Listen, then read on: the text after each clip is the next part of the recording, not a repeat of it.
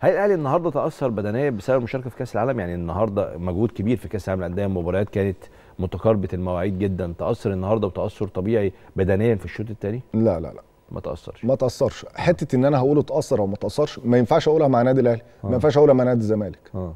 الفرق اللي اتعودت إنها تلعب أكثر من بطولة لا.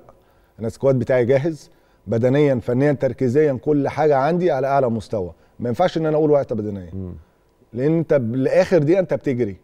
لا انت ما وقعتش بدنيا. انت فعلا ممكن تكون العوامل اللي إحنا اتكلمنا عليها ان انت فعلا ميعاد المباراة مش مناسب لل- لبعض اللعيبة عشان ما نظلمش.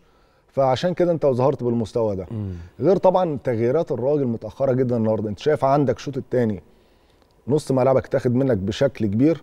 انت جاي ت- يعني على ما افتكرت تغير بدأت تغييراتك في الدقيقة حاجة و70 هو واضح بدأ بالقندوسي اللي هو بعد كده غير ثلاث تغييرات. واضح إن النهارده أول تغيير كان الدقيقه 62 62 راقب مارسيل كولر في كل المباريات بتاعت الأهلي. بيبدأ تغييراته من الدقيقة 60 مفيش مهما مشكلة. حصل دي- لا لا بالمناسبة مهما حصل. يعني حتى لو في لعيبة أنت متأكد إنه لازم يخرج من بدري هو بيبدأ تغييراته من الدقيقة 60 طب النهارده إحنا بنتكلم في حالة مباراة. امم وأكتر من حوالي 8 9 لعيبة بره الجيم النهارده. هستنى لحد ما تبقى الكارثة أكبر.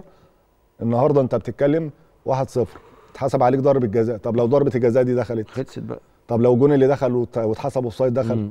اطلع بفضيحة اكبر مم. ولا أنا اطلع باقلل خسائر على الاقل لو هو مش يومي.